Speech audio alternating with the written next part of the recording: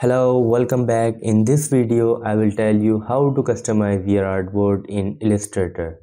So first of all, you have to understand what is artboard. The whiteboard you are watching on your screen, this is called artboard in Illustrator.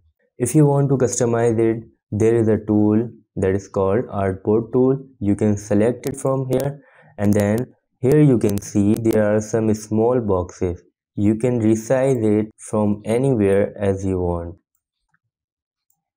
This is how simply you can edit your artboard. If you want to move it by using the artboard tool, you can simply move it. You can also check its width and its height. If you want to make changes, you can also make changes from here.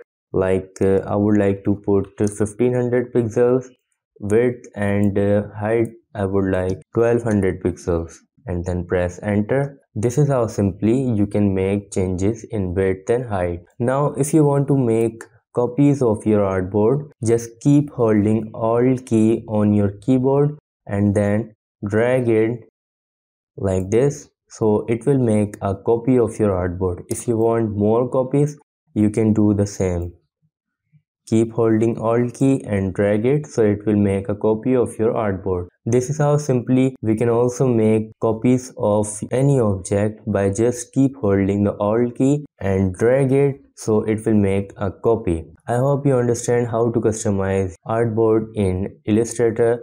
Thanks for watching. See you in the next video